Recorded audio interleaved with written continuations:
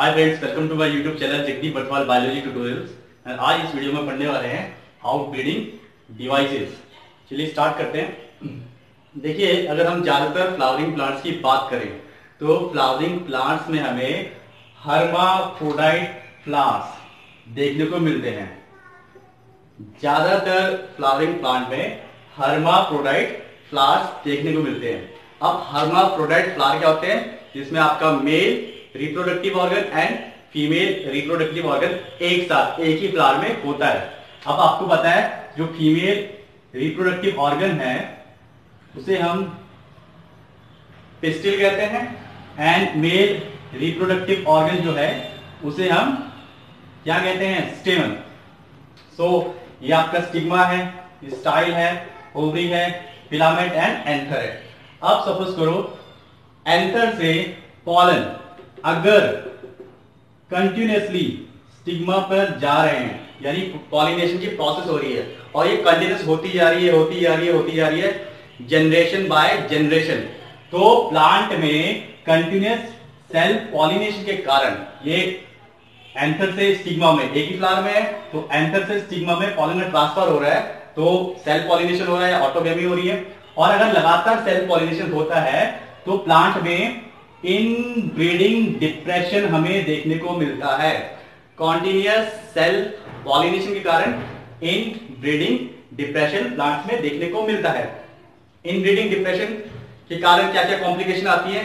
एक तो जो प्लांट की ग्रोथ है हम कहें, ठीक है, या प्लांट जो सर्वाइव करता है, उसका एक लाइफ स्पैन है, वो सर्वाइव नहीं कर पाता है। एनवायरमेंटल कंडीशन के साथ कोप नहीं कर पाता है, ठीक है? और साथ ही साथ वेरिएशंस हमें कम देखने को मिलती हैं। आपको पता है वेरिएशन नहीं होगी तो एवोल्यूशन की प्रोसेस भी स्लो डाउन हो जाएगी। क्योंकि एक ही प्लांट के पॉलन यहाँ आके बैठ रहे हैं। सो so, वेरिएशन तो होगी नहीं। जेनेटिक मटेरियल सेम है एक ही प्लांट से आ रहा है। अगर डिफरेंट प्लांट से आता तो वेरिएशन देखने को मिलती। सो so, वेरिएशन देखने को नहीं मिल रही है तो एवोल्यूशन की प्रोसेस भी स्लो डाउन हो गई। सो so, प्लांट कोप नहीं कर पाता इस कारणवश आपकी एनवायरमेंटल कंडीशंस के साथ। So so, inbreeding depression को सिंपली अगर मैं समझाने की कोशिश करूँ तो यहाँ पे प्लांट की ब्रीड खराब हो जाती है। आगे बढ़ते हैं। अब सेल्फ पॉलिनेशन ना हो। सेल्फ पॉलिनेशन ना हो और ज़्यादा से ज़्यादा क्रॉस पॉलिनेशन हो तो प्लांट ने उसके लिए कुछ डिवाइसेस प्लांट की बॉडी में देखने को मिलते हैं, जिन्हें हम आउट ब्रीडिंग डिवाइसेस कहते हैं। यानी कि ये वो डिवाइसेस हैं जो सेल्फ पॉलिनेशन को कम करते हैं और क्रॉस पॉलिनेशन के चांसेस को बढ़ाते हैं। अब एक एक करके इन डिवाइसेस को डिस्कस कर लेते हैं। पहला जो डिवाइस की बात करें पॉलन रिलीज़ और स्टिग्मा रिसेप्टिविटी दैट मींस इनमें कोई तालमेल ना हो अगर।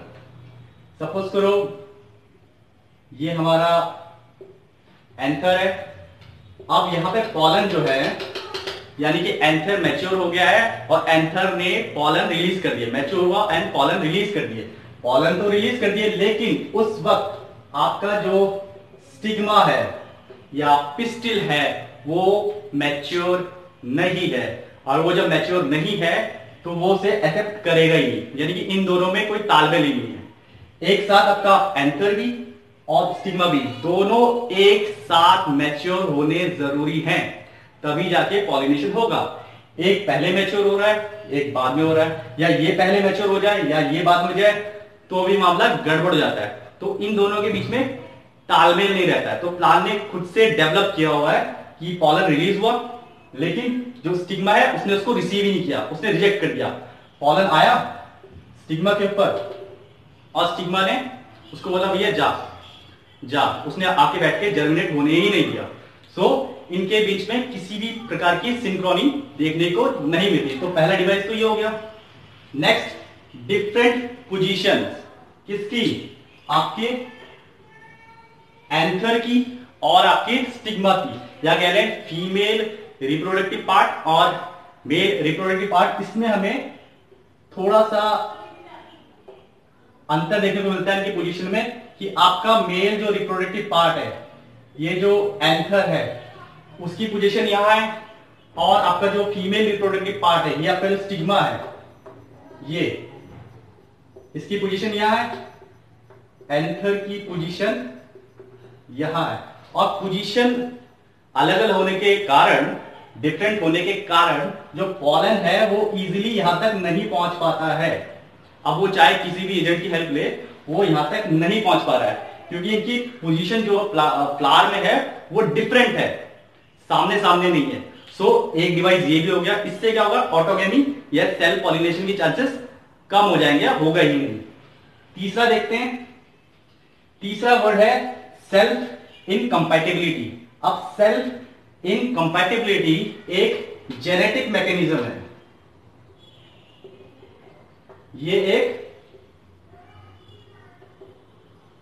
जेनेटिक मैकेनिज्म है। अब सेल्फ इनकम्पैटिबिलिटी होती क्या है कि भाई आपका जो स्टिग्मा है, जिसने पॉलन को रिसीव करना है, वो अपने ही पॉलन को, अपने ही पॉलन को रिसीव नहीं करता है। तो ऐसी कंडीशन को सेल्फ इनकम्पैटिबिलिटी कहते हैं। यानी कि अपने ही पॉलन को नहीं एक्सेप्ट करेगा। दूसरा आ जाए पॉलन उसको एक्सेप्ट कर लेगा, लेकिन अपने को ही एक्सेप्ट नहीं करता। अपने ही पॉलन को एक्सेप्ट नहीं करता। और जब अपने पॉलन को एक्सेप्ट नहीं करेगा तो यहाँ पे ऑटोगेमी तो होगी नहीं। ऑटोगेमी नहीं होगी। ये आउटब्रीडिंग डिवाइसेस कर क्या रहे हैं? ये ऑटोगेमी को प्रिवेंट कर रहे हैं। एंड आपका जो क्रॉस पॉलिनेशन है उसको प्रमोट कर रहे हैं। सो so, ऑटोगेमी नहीं होगी। सो so, ये एक जेनेटिक मैकेनिज्म है आपका क्या? सेल्फ इन कंपेटेबिलिटी अब आपका सपोज़ करो पॉलन आ भी गया। ये आपका पॉलन यहाँ से आ गया यहाँ पे। अब पॉलन पहुँच तो गया, लेकिन ये सेल्फ इनकम्पेटिबल है तो ये पॉलन को जर्मिनेट होने ही नहीं देगा।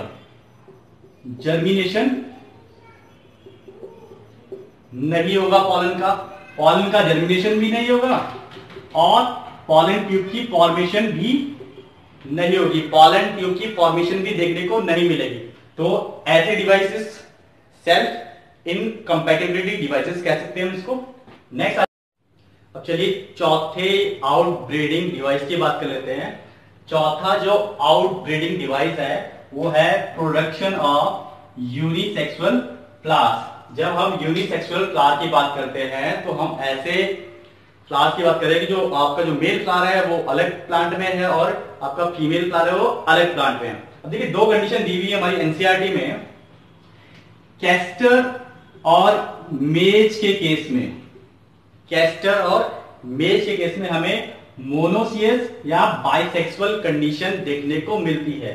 अब मोनोसियस या बाइसेक्सुअल कंडीशन क्या होती है? दैट मीन्स आपका फीमेल फ्लावर ये हमने बना रखा पूरा फ्लावर नहीं बनाया सिर्फ़ मैंने फीमेल रिप्रोडक्टिव पार्ट बनाया है। तो ये आपका फीमेल फ्लावर है और ये आपका मेल फ्लावर है।